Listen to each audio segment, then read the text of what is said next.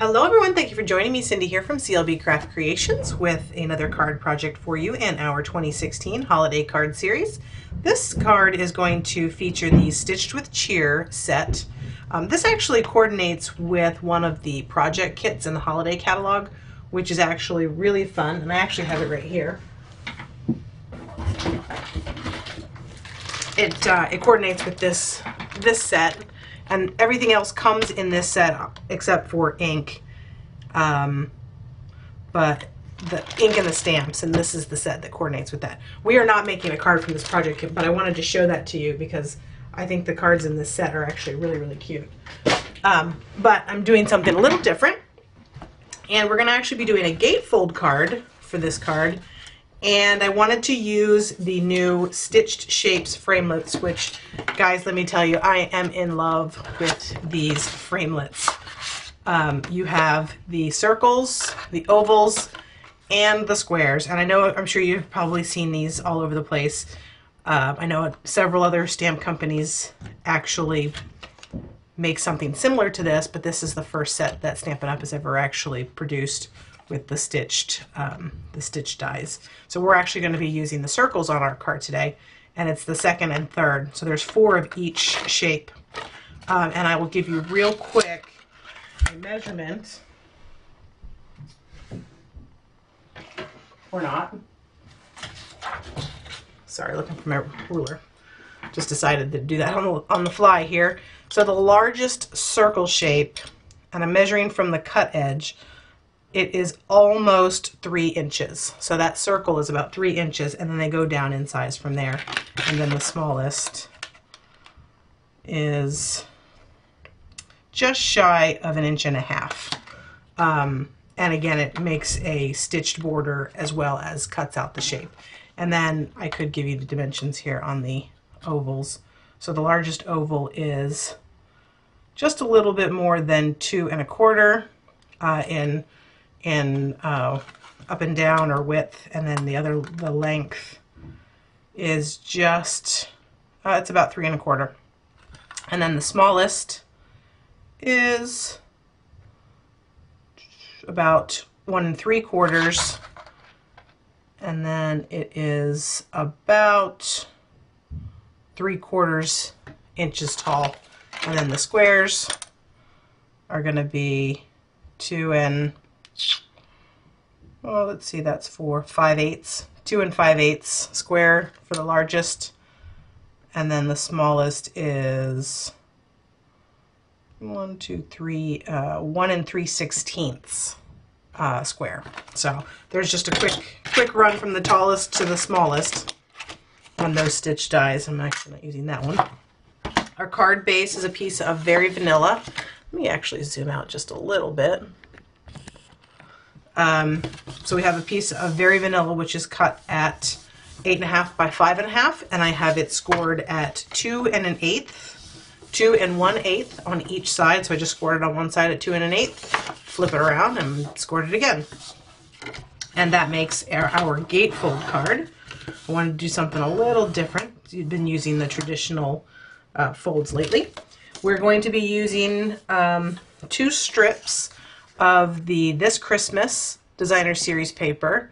I love this paper and what Stampin' Up! is doing lately with the paper and the fact that they're giving you a themed pattern, if you will, on one side and then a very neutral theme on the other side so that you could potentially use this really all year long by hiding that Christmas side because this is just basically cherry cobbler paper with stripes in it. So we'll be using two of those. These are measured at or cut at um, this is one and seven eighths by uh, five and a quarter, so there's two of those. And then I have just a piece of Very Vanilla for stamping and then die cutting and a piece of Cherry Cobbler to stamp as well. No, I'm sorry, not to stamp, to cut. All right, so we can actually, oh, and one other piece. It's a piece of the Garden Green, and this is cut at one inch by 10 inches, and we're gonna make a belly band out of that. So we can go ahead and add our strips here use some snail on that.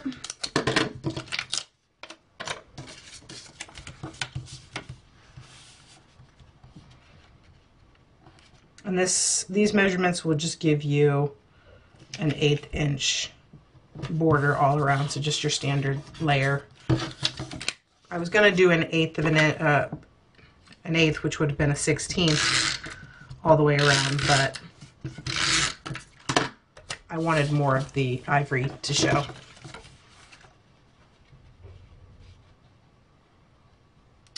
Okay, just get that lined up. Press. Okay, and we're pretty much done for this with this for right this minute. Now I'm going to go ahead and stamp my sentiment, which I'm going to use the Peace and Happiness. I've already got that on a block, and I'm going to be using Garden Green.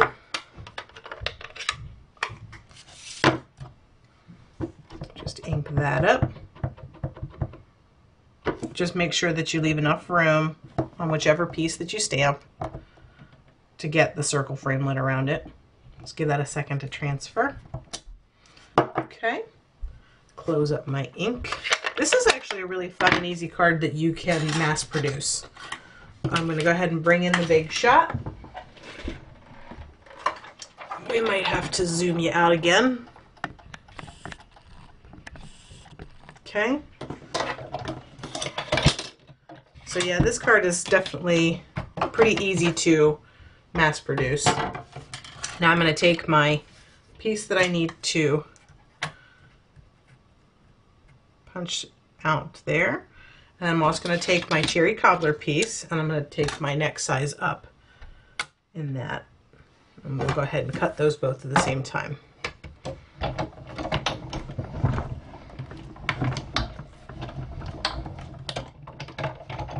Okay.